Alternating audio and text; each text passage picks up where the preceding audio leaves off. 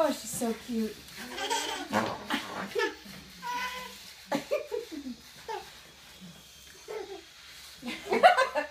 Let's let's eat this pillow.